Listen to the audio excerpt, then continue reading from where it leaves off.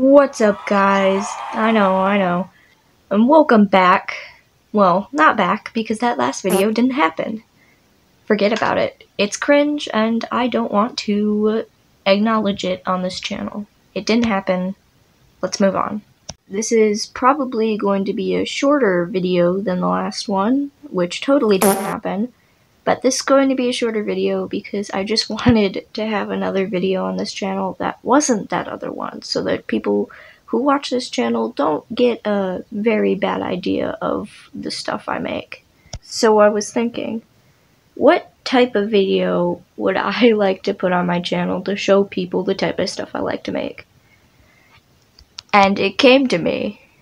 So today we are going to be making a tier list of the best sour cream and onion chip brands.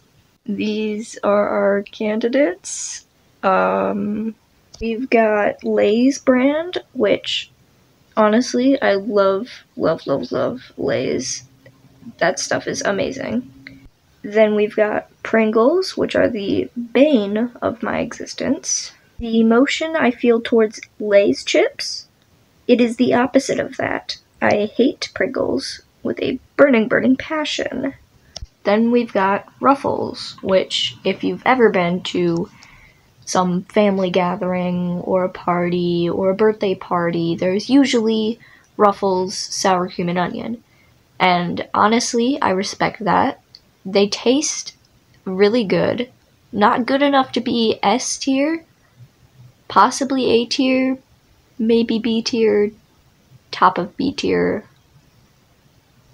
I'm gonna say A tier. And then we've got Clancy's. I want to talk about this because no one knows about Clancy's. I feel bad for all of you. Clancy's is such a good brand. They taste just honestly like gold. I like the golden it I to the top of S tier it goes.